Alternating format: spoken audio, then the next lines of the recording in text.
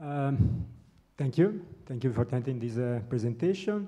I'm Walter of Gis3W, and uh, today I try to to to show you what is the state of art, last development, and the few perspectives about uh, G3W Suite. For who don't know is what is G3W Suite, uh, I can tell you that the G3W Suite is an uh, app, a web app for the publication of uh, uh QGIS project as WebGIS services. In fact, the idea behind the birth of G3W Suite can summarize in these following four, uh, four points. First, uh, uh, therefore, have a, a, dedicated application for the publishing as QGIS project as WebGIS services hmm? in total autonomy with few steps and uh, in a very simple way. Second, have an app uh, where organize uh, the WebGIS services in container in a in a hierarchical way with, for example, cartographic group and microcartographic group. Third point, uh, have an access control in front uh, to our web, WebGIS services with uh, users and role, also them uh, organized in a hierarchical mode. And uh, fourth and last, uh, as I have a, um, a, plugin system for the developing of custom models mm, for to respond to the customer's request. Uh, from this point is, board, is built G3W suite. In this slide, you can see that how, uh, there is the architecture of uh, G3W suite. And uh, uh, as you see, there is two main components. At the top, we have, we can try, okay, it's working. at the top, you can find a G3W client that is made by JavaScript and OpenLay Vue.js framework. This is a classical WebGIS interfaces with map, uh, reference map, uh, map widget, token, etc. And it communicates with a G3W admin that is administration component. It's made by Python, Django, and is fully integrated with a, a QGIS server thanks to Python Q, uh, PyQGIS API. In fact, thanks to, thanks to this integration, G3W admin works as a, also as OGC services server for the G3W client and works as uh, API REST services also for the G3W client. At the base, we have a, a database, a Postgres database that uses as an administration database, but it also can be used as a geodatabase, uh, but uh, for, for the data. But you can use inside G3W Suite every type of data, also file system data, geopackage, shapefile, etc. Uh, so in conclusion, you, every type that a QGIS server can read. Hmm? Uh, our policy is to follow the QGIS server LTR version. In fact, now we support uh, the 3.34 version.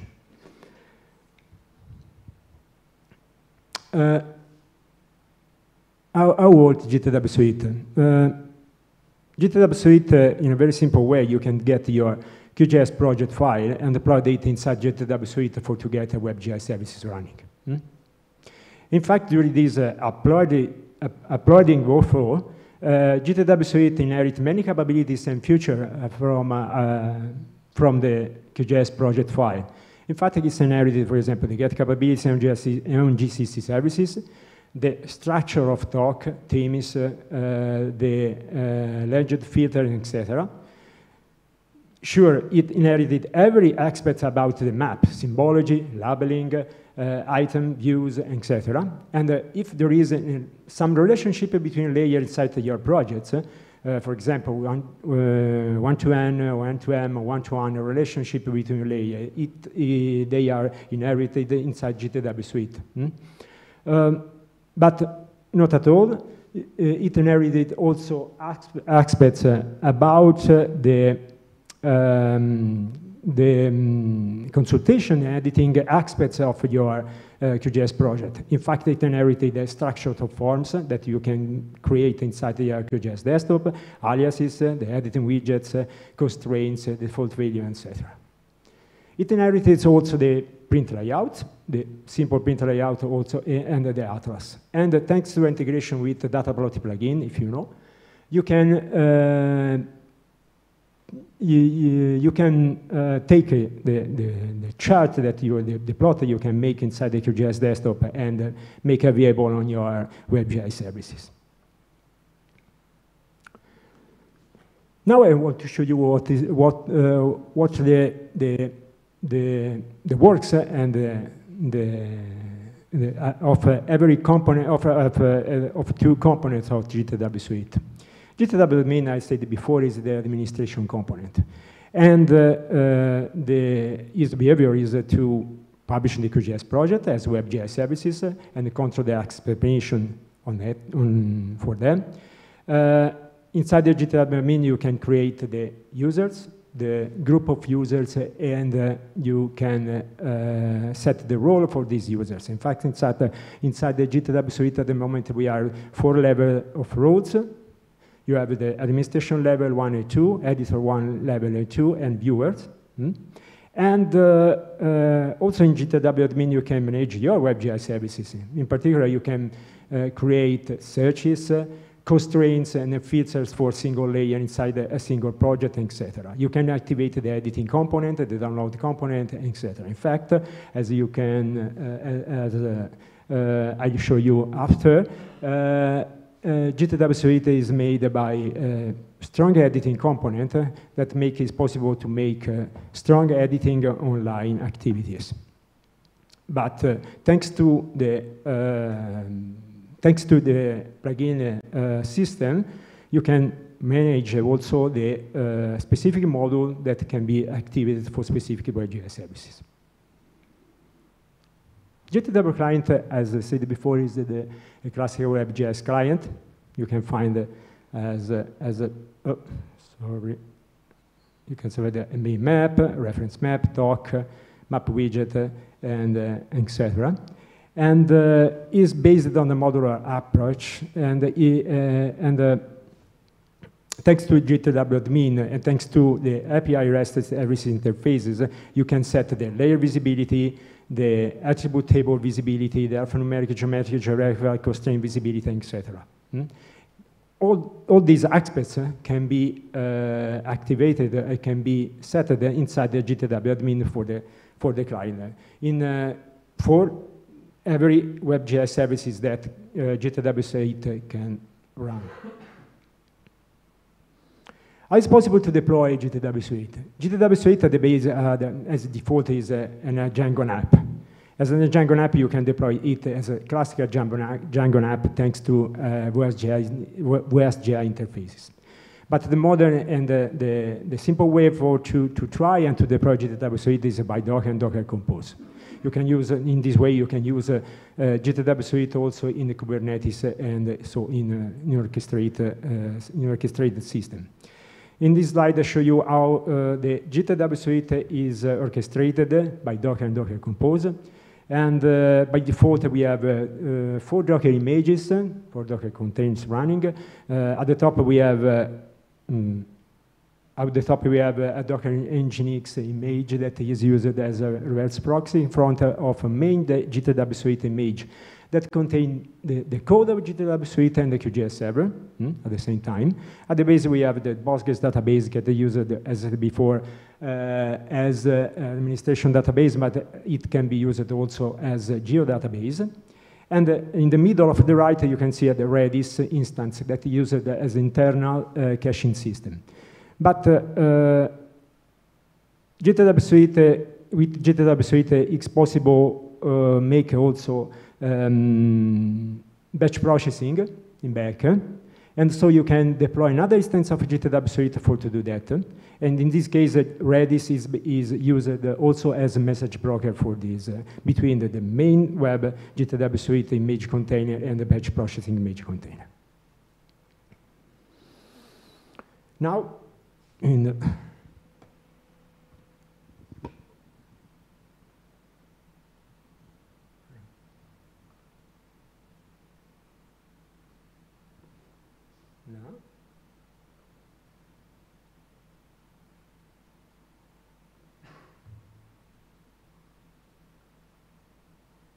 Okay, it's possible to open. Okay, you see? Yes, it's okay. This is a video that show how G3W Suite works, what is the workflow. Uh, as you can see, you, you, are, uh, you are in your QGIS desktop. You can make your QGIS project. After that, you can take the ArcGIS project, update inside the G3W suite, and set other features. For example, the accesses and the user and the role that can access to, the, to these uh, services. After that, uh, after the save of the services, the WebGIS services is starting to run. So with few steps, with uh, one step or two steps, it's possible to, to make, uh, to make available, available uh, WebGIS services. Di là.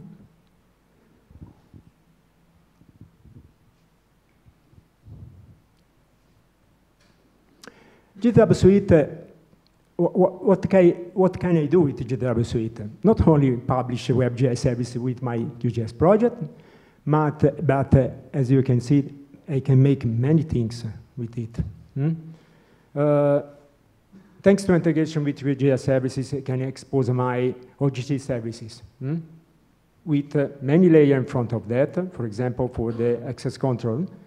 Uh, but uh, thanks to uh, advanced uh, editing system, I can make, uh, for example, by, by self web cartographic management systems, or thanks to integration with pycsw, I can expose my layer and the metadata about this layer. And uh, last one, uh, I will show you in the, in the afternoon today. Uh, we have developed a new module, a new, a new plugin for the integration of uh, QGIS processing uh, API and the QGIS processing framework desktop into G3W Suite. In fact, to, in, thanks to uh, the plugin system, we have developed many modules uh, for to extend the features of G3W Suite. We have made module for the integration uh, of mm, data for the time series. In the same way you can, you can use inside the QGIS desktop. We, we, we have made uh, reporting system models. We have made uh, uh, Uh, modules for uh, uh public administration, example for to, to, to consult on the cadastral data or for to uh, make urban planning activity. But we have uh, make modules for extend uh, other capabilities. For example, the authentication capability of G3W Suite. We have the, the mm, modules uh, that uh, uh, we, for uh, LDAP Active Directory authentication, CSW services, as I said before. And thanks to integration with OpenRoute services, we have developed a module for to create on fly and to show isochrone layer. Okay. In this very first part, I show you how G3W suites work, and now I want to show you what is the last uh, news about the last two releases of G3W Suite, the 3.7 the 3.8 uh, version, and I'll show you what is the uh, next perspective and next news about the, the 3.9. First of all, in these last two releases, eh, we supported the new uh, QGIS LTR version, the 3.34. Um, we extended their capabilities to import the relationship between layers. In fact, now we support uh, also the relationship based on multi-K fields. Before, only with uh, one, K, one couple of K fields we supported. Uh, we have extended the the, um, the, importation and the behavior of uh, uh, QGIS widget uh, form, for example, value relation, value map, relation reference widget, uh, also inside the searching system of the G3W suite. Thanks for our customer and friends. We, are, we have uh, uh, make a registration system for end users and the recovery password. And we have uh, we had the support uh, the we had added the support to PostGIS uh, type layer, PostGIS raster layer. We make some uh, uh, some update about the user user interfaces of G3W admin. We we create some filter for to to reach uh, our cartographic group and our project our project uh, in a very fast way. We have exposed also the OGC API future, future uh, services of, G, of uh, QG server, because at the moment only exposed the, the WMS and WFS.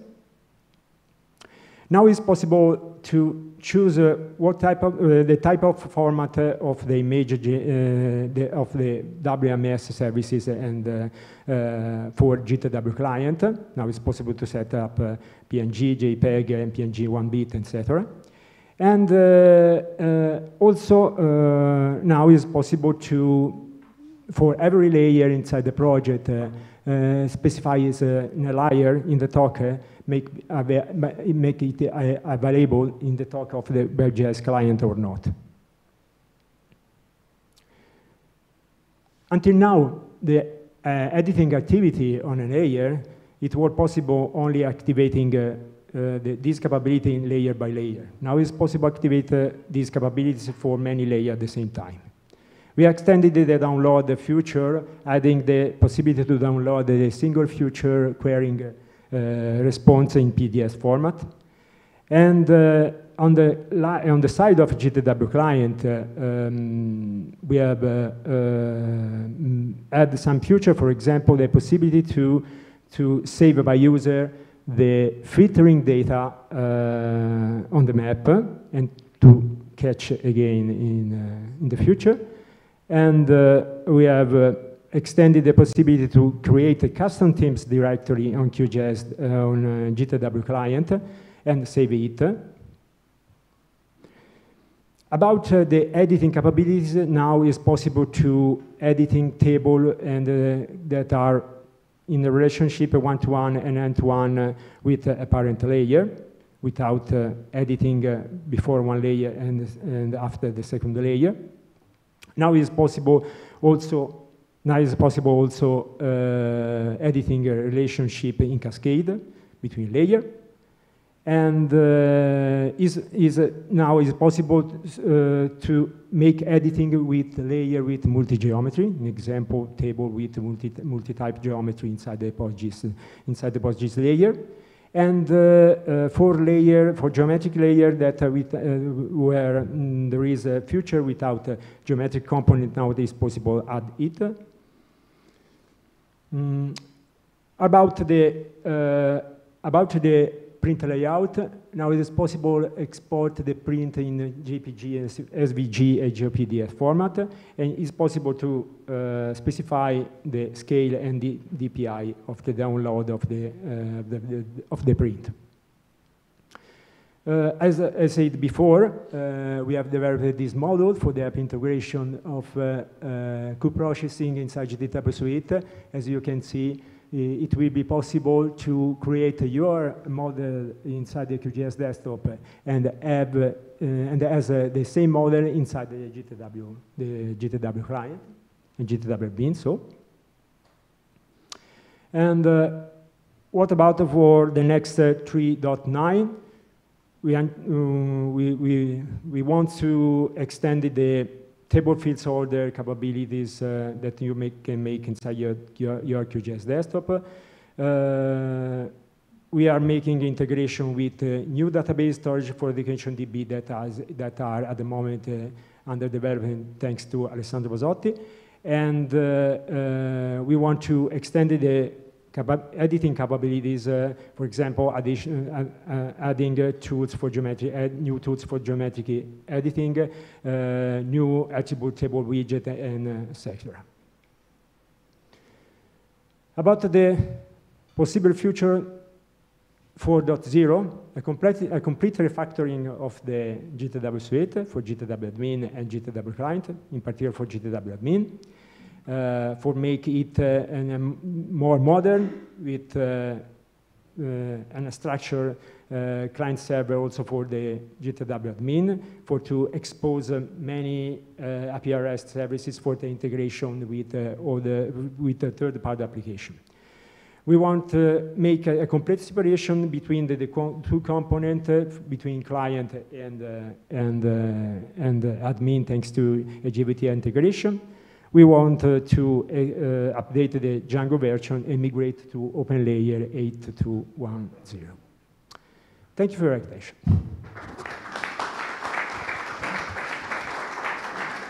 So thank you, Walter, for this interesting uh, presentation. Um, are there any questions? Um, hi, thank you for the presentation. Um, I was just wondering, uh, from the last slide then, you mentioned that you, d- you don't have any capability of uh, interacting with it via an REST API, as in setting user um, management or these kind of things. Yeah. So this is on the... Yeah, okay. yeah. At the moment, it's not possible. It's not because uh, G3W Twin is a classical Django app. So it's a very, very classical Django app, so we don't have any API. Very, very, no, no more API for that. mm. Uh, we have developed some, some few API for some customer, but for to do that, but uh, I'd like to, to, to split these for, for to expose this type of API. For example, for publishing project or create user enroll from a third-party application. Okay. Uh, and the second question, um, you don't have the capab- uh, do you have the capability to actually mix layers or, or every project you publish stays in the same form? Like if you have two projects published, can you inherit uh, layers from one project to another or you get my point? Or Oh, if- I- okay, if I understand it, do, do, do you ask me if, uh, if, I, if I have two projects uh, with the same layer? no, no, two No. different layers, Two but I would like uh, to use the one layer from another project which has been published already. Ah, okay, okay. Can ah, I it's possible. It, it is It's possible. possible. Ah, it supports also the uh, in-editing system of the project, uh, of the QGIS project. Uh, in, in, QGIS pro, in QGIS desktop, you can, in, you can incorporate another project inside the, the, the, the, the other project. You can, uh, and this works in the same way in the GTW suite. I was wondering in the front end, not in the back end. So you can you can inherit external layers. Yeah. inside. Yeah. Okay. Thank you.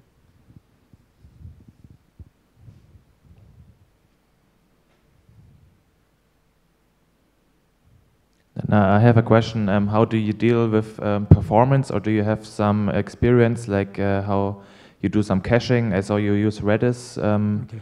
so, or do you use the internal cache of QGIS server? Maybe you can share some experiences. By default, by default, uh, we use the internal cache for QGIS, the server.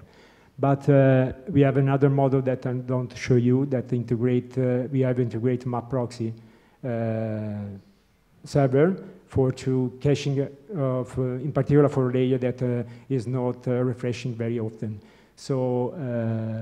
G3W Suite has a, uh, also a default caching system based on or old TileStache. In fact, in fact, it's very old for this application, and uh, mm, nothing. We use, we uh, this this type of caching at the moment. Uh, one thing, so can I can I do a question? Someone at the moment using uh, G3W Suite? I know Tudor, yeah. yes. Ah, yes. Okay. Thank you.